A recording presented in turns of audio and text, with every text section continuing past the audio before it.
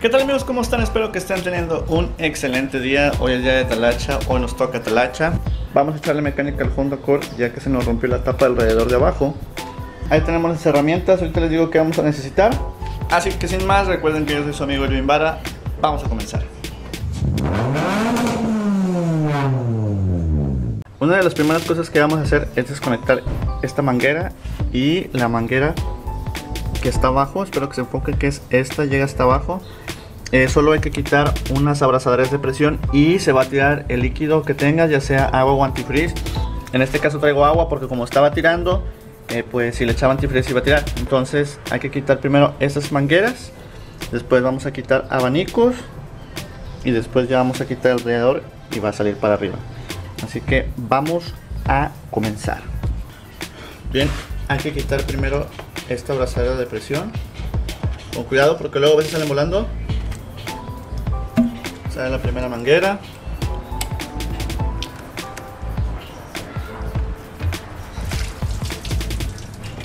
Ahí se va a tirar el líquido para no hay ningún problema. De este lado se alcanza a ver ahí. Esta es la brazalera de la manguera donde llega la toma del termostato. También hay que quitarla. Pero voy a remover la, el tubo de la admisión para batallar menos. Solo se necesita un desarmador de estrella para aflojar la brazadera se afloja este clip afloja este clip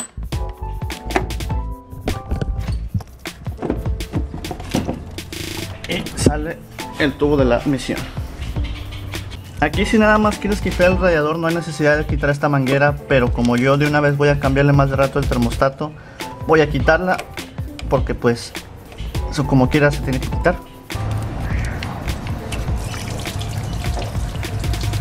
Bien ahora vamos a desconectar la manguera del recuperador y vamos a aflojar este y este. Estos son los tornillos de las bases que sostienen el radiador y se necesita un rush y un dado 10 para quitarlo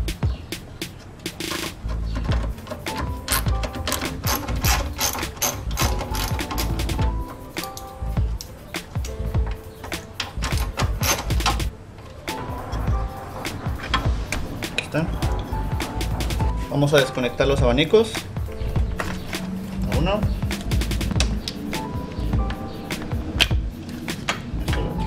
Y para quitar los abanicos se necesita también el dado 10.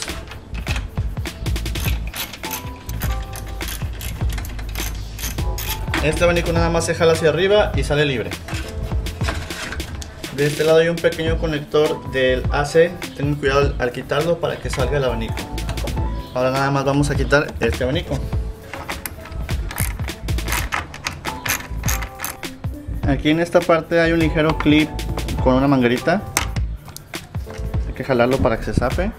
Y ya después de quitar el clip, el abanico sale hacia arriba también.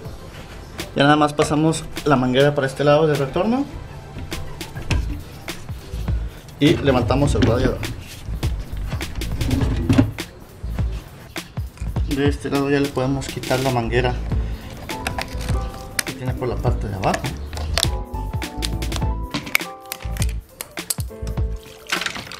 Y listo aquí tenemos el radiador. Y si se dan cuenta este radiador ya fue soldado ya fue reparado. Entonces yo creo que ya es tiempo de cambiarlo. Y lo que les quería mostrar creo que en cámara no se alcanza a notar pero aquí está la grieta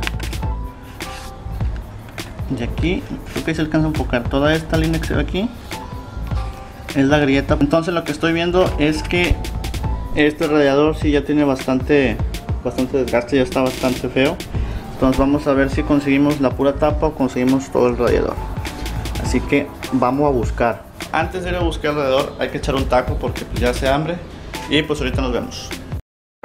Tres días después y aunque no lo crean, anduvimos buscando por medio Reynosa la tapa debajo del radiador y no la encontramos. Estábamos grabando el sábado, hoy es miércoles.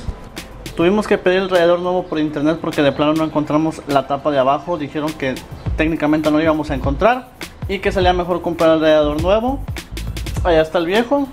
Así que ahora vamos a montar este en el carro. Pero antes de seguirle, salud.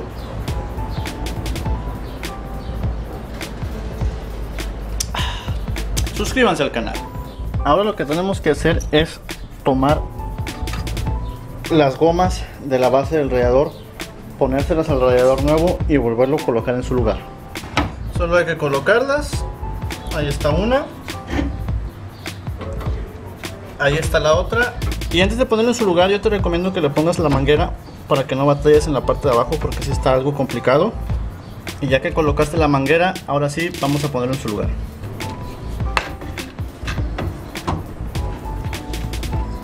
Estos son los soportitos que lleva arriba, uno de cada lado y es todo.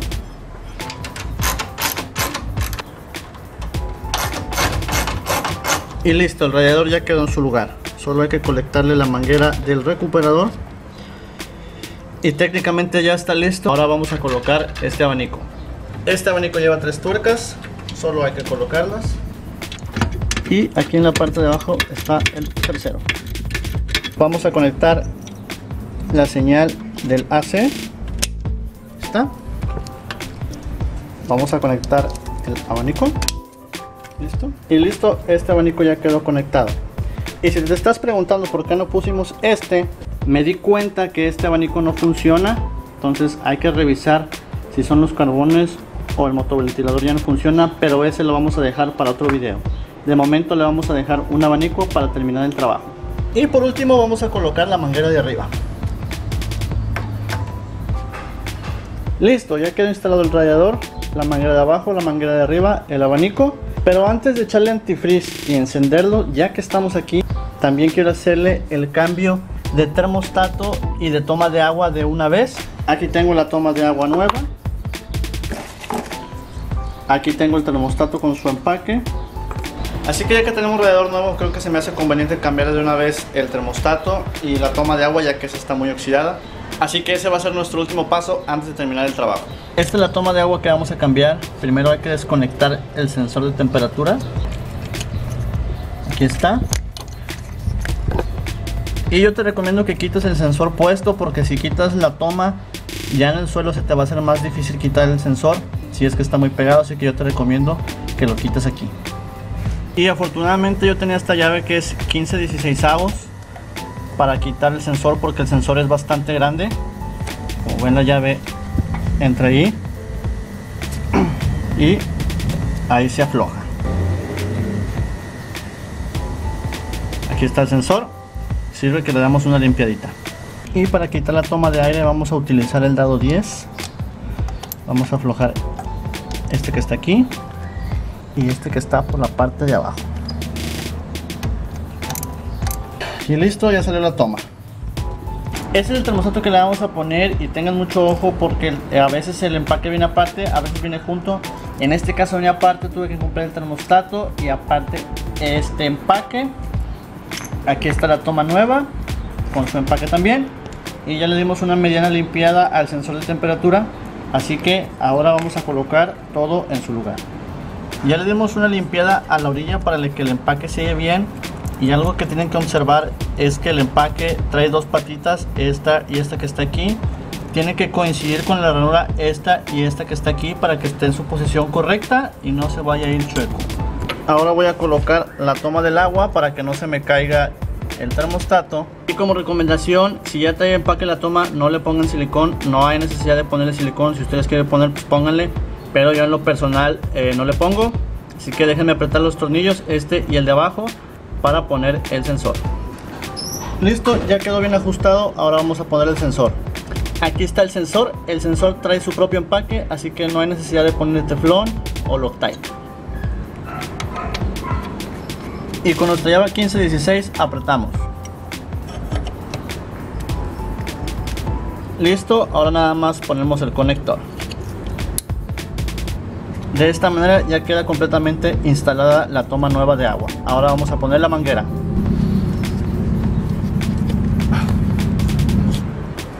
Ya nada más acomodamos la abrazadera de presión. Listo, ya podemos poner el antifreeze.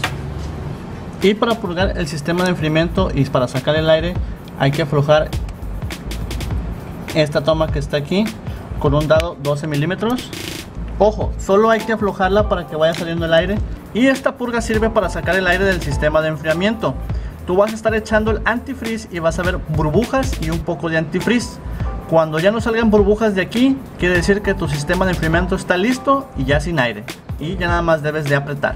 Así que vamos a echarle el antifreeze. Y ya que nos aseguramos que todo está en su lugar, ahora sí vamos a colocar el antifreeze. Aquí se puede observar cómo está saliendo el antifreeze poco a poco y ya no está saliendo aire. Así que ahorita ya nada más voy a cerrar eh, la purgadora y voy a rellenar con lo que falte y listo, ya terminamos. Listo, ya quedó lleno y como todo un experto sin derramar una sola gota. Y por último le colocamos el tapón y listo. Por último vamos a colocar el tubo de la admisión. Y listo señores, ya todo está en su lugar. Ahora sí ya podemos echar a andar el carro para ver que nada fugue, que todo esté bien y para que circule el sistema de enfriamiento. Y bueno banda, honestamente me tardé mucho en ese trabajo porque el radiador no lo teníamos a la mano. Ahí está el viejo.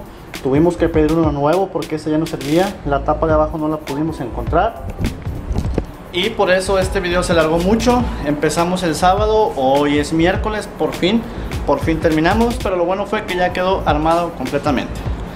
Así que bueno, hasta aquí el video, espero que el video te haya gustado, si te gustó dale like, comenta y comparte ya que me ayudarías muchísimo. Así que sin más, recuerda que yo soy tu amigo Irving Vara, nos vemos en la próxima. Adiós.